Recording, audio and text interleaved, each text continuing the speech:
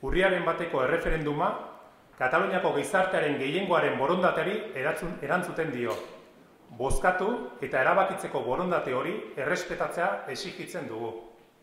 Kataluniako herritarren borondatearen adirazpena oztopatu eta elkartasun ekimenak zapuztu nahi dituzten zigor bideak arbuiatzen ditugu.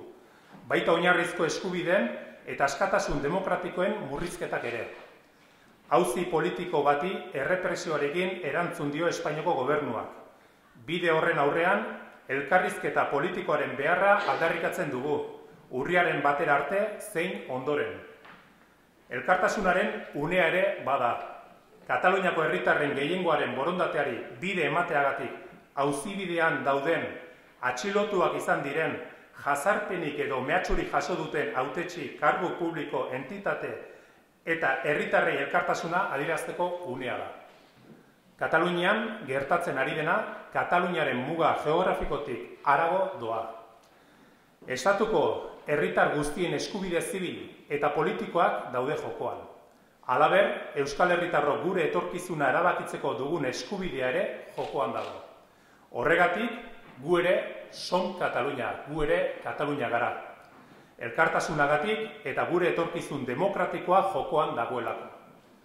Horregatik guztiagatik eta bereziki erabakitzeko eskubidea etorkizuna eraikitzeko zutabea delako eta aparteko une honetan askatasun demokratikoen defentsak herritar guztion konpromisoa behar duelako gizarte osoa dei egiten du gure esku dago datorren larun batean hilak iraiak hogeita marrean kalera irten eta Bilbon antolatu duen manifestazioan parte hartzera. Demokrazia erabakitzeko askatasuna lenopea. Ba, gure esku dago ari da lanean eh, eragile guztiekin. Eh? Eta gaur dituzuenak dira propio e, beraien babesa eta sostengoa dirazi dutenak. Eta horrez gain, ari gara Euskal Herriko beste sindikatuekin, elakin, labekin, komisionesekin, e, eta beste alderri politikoekin, Podemosekin, e, Esteilasekin, bueno, eta Euskal Herriko eragile e, askorekin dena den, e, datozen egunetan atxikimendu gehiago etorriko dira, eta ikusiko duzuen hortzu diren sostengoa ematen dutenak propio.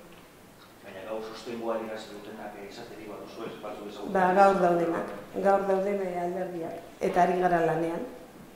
EAJ, EH Bildu, ITB Biztasarea eta ANF Euskal.